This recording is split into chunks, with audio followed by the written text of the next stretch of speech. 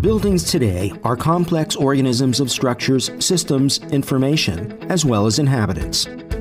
The usage of buildings is typically uneven. However, smart buildings are able to optimize energy consumption by monitoring usage patterns and then forecasting very specific user demands.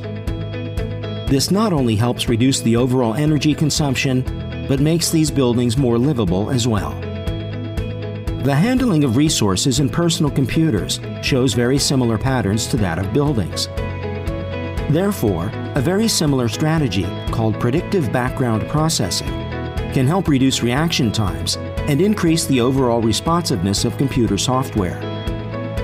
ArchiCAD 19 introduces this patent-pending technology to BIM as an industry first.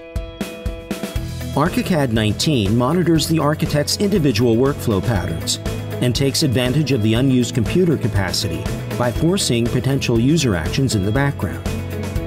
This greatly increases the overall responsiveness of the application, so it feels more agile with projects of any type or size.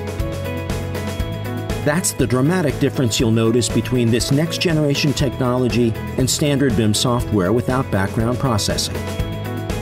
The time-saving results speak for themselves.